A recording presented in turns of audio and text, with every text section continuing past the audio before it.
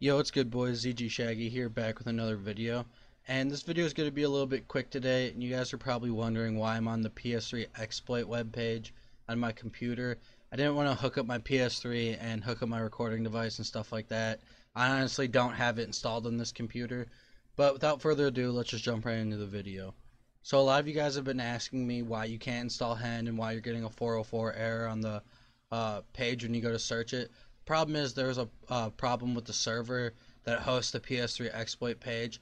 Now I don't know specifically what was wrong with the server. Could have been a bunch of different things. But from my understanding is I do follow the guy on Twitter that helps run the page or that runs the page himself.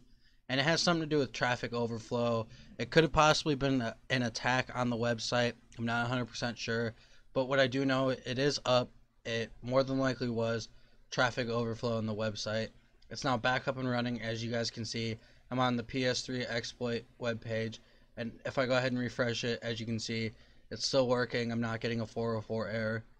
Now if you are getting a 404 error just keep trying. If you keep getting it wait an hour or so and then try it again but it should be working on your PS3.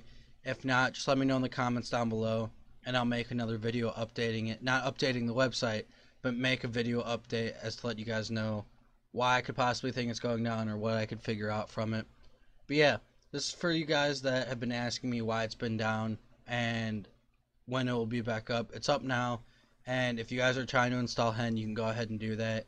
If you don't know how to install HEN, I'll leave my video linked in the description down below.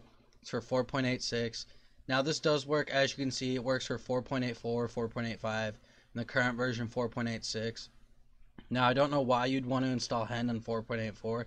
If you want to play offline and you're on 4.84 or 4.85, go for it. But if you're trying to play online, as you can see, it's the same setup right here. Just follow my video. It'll tell you everything you guys need to know. So I know this video is a little bit short, but I just want to throw this out there for you guys that have been wondering. So if you guys could, please like, comment, subscribe, and I'll talk to you guys later. Peace out.